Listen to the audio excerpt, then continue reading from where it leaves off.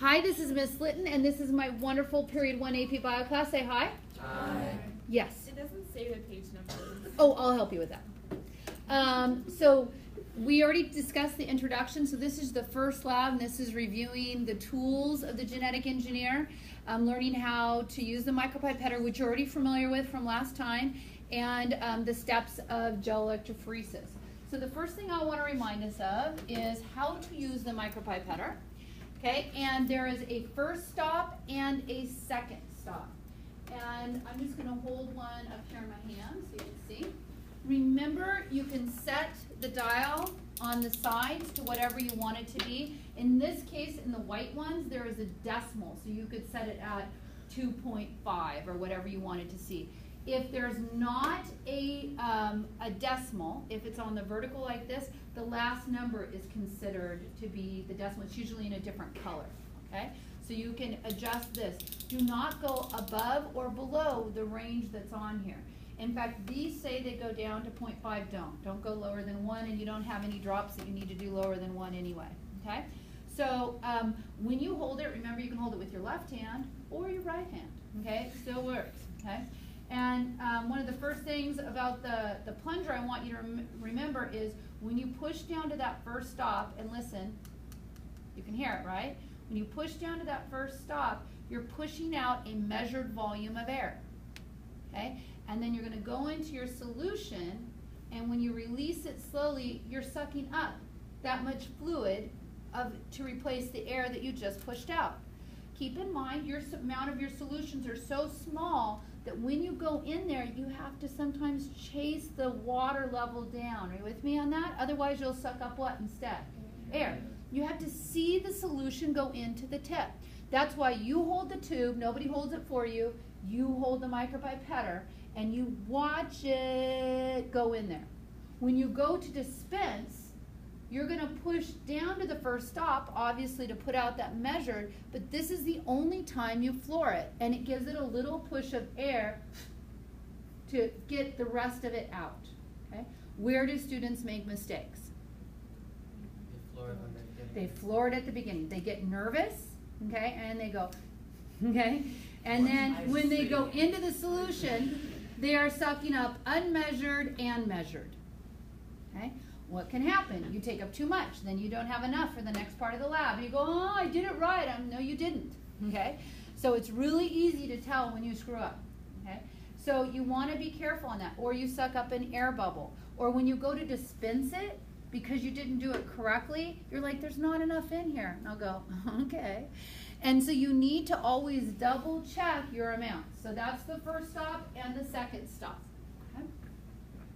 Now, um, when, um, why don't I have Blue? Go ahead and explain this slide right here. Go ahead, Blue.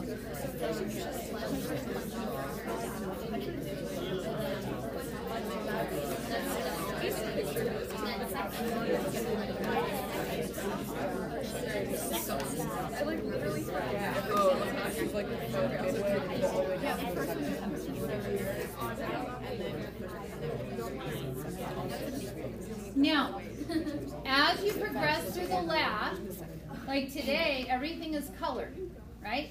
But in the real lab, everything will look like water. Okay? And you won't be able to go, is it in there? Unless you actually see it go in there. So the best micro, unless I tell you otherwise, sometimes I want you to put your drop right into the solution, but really what you want to do is when you make your drop, put it right on the inside of the tube, the very bottom, so you can see the drop get dispensed in there, so you can go, okay, I put it in there. Because if you just go to put it into the solution, it may be part of a larger volume that's in there and you won't know it's there. Okay, you can always, I have microcentrifuges, did you use those last year?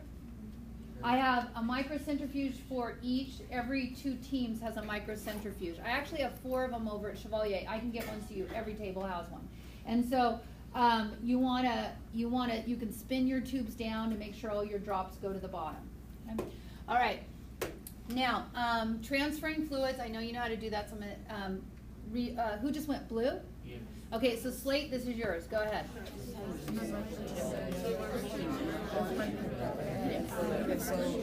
Set the volume on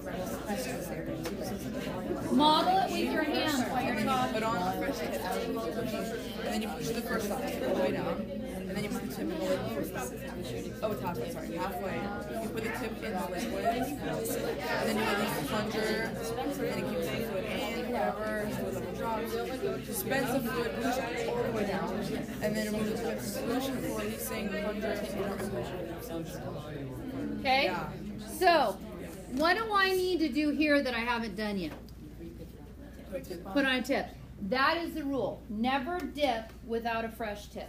Okay? That is your rule. Never dip without a fresh tip.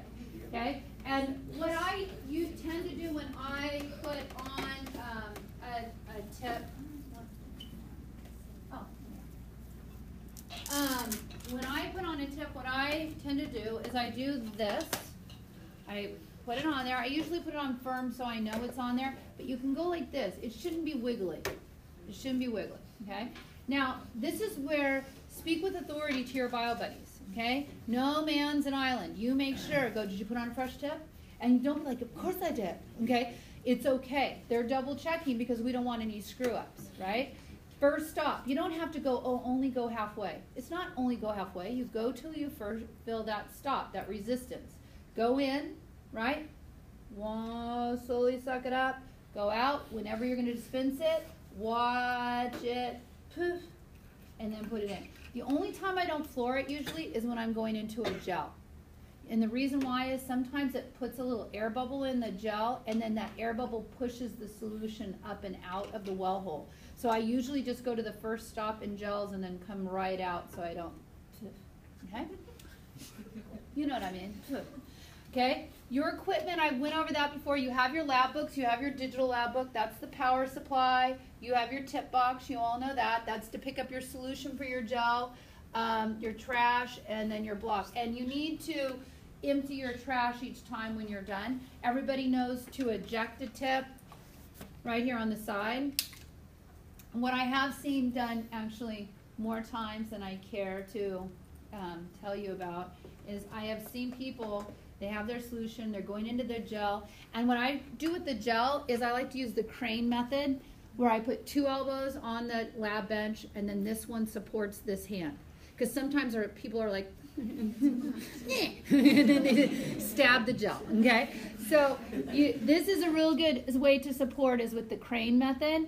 And I have seen people, they go and their hand slips off and they go, and then they, this thing's like, in the gel, and then they're like, now, best thing to do when you make a mistake is actually to come to me, okay? And let me try to resolve it. Because sometimes people come up with their own, just assume whatever mistake you're gonna make, I've done it 10 times and worse, okay?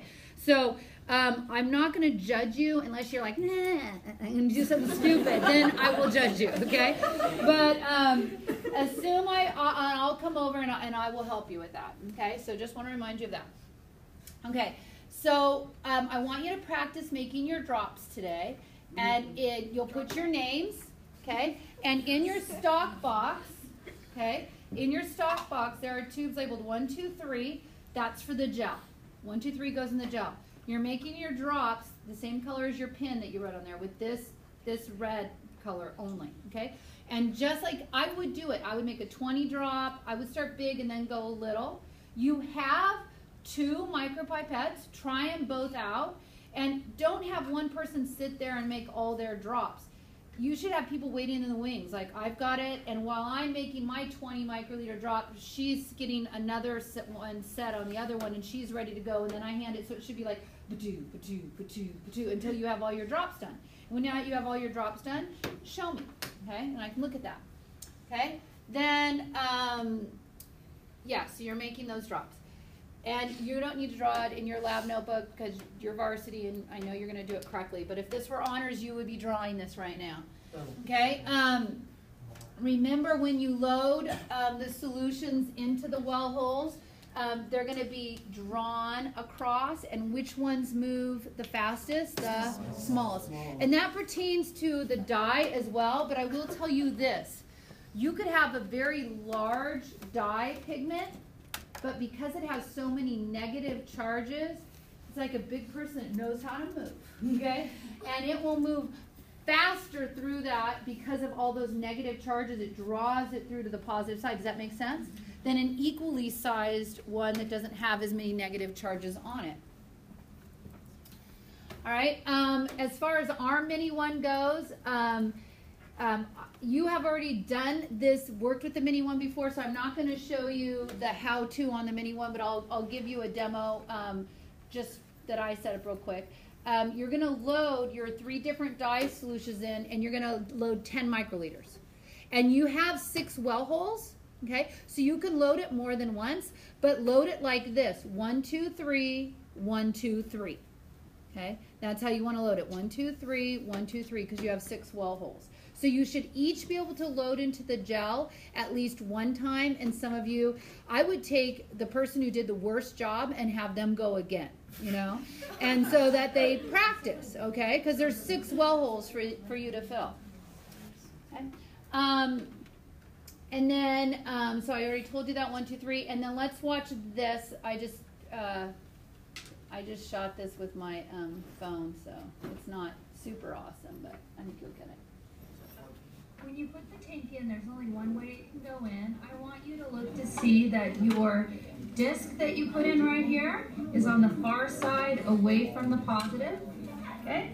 Then when you bring in the gel, you can see the well holes. You want to make sure they're open to you and line those up with the gray disc here. Goes right in here. Do you think and that's important? Just pour the solution over the top.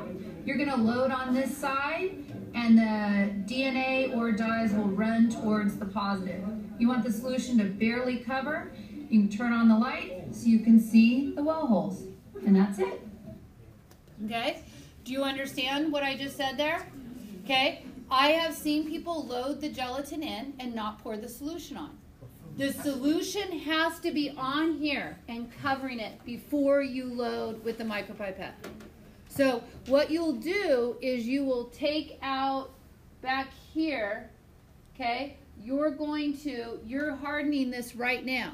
So you'll gently take out the comb. If you wiggle it or go like this, it'll tear and you won't have even well holes. So when you take out the comb, go and pull it straight up.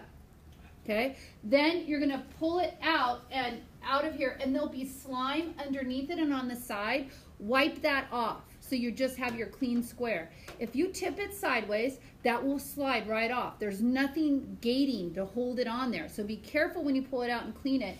And then you're gonna put it right down here. You're not taking it off this plastic. You're leaving it on the plastic.